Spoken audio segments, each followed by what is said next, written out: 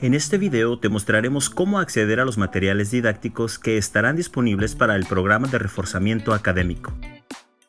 Para ello, nos dirigiremos a la pestaña Programa, que se encuentra en el menú de opciones. Una vez dentro del programa, podremos acceder al material didáctico que estará disponible en formato PDF y formato de video. Una de las ventajas que nos ofrece este sistema es que nos permite reproducir los videos directamente en la plataforma. También nos permite visualizar las lecturas. O bien descargarlas directamente en nuestra computadora.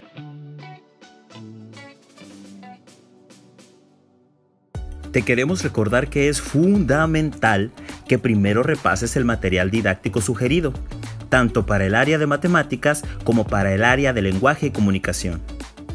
Esto te permitirá realizar los ejercicios y las evaluaciones semanales sin mayor complicación. Esperamos que este video haya sido de utilidad.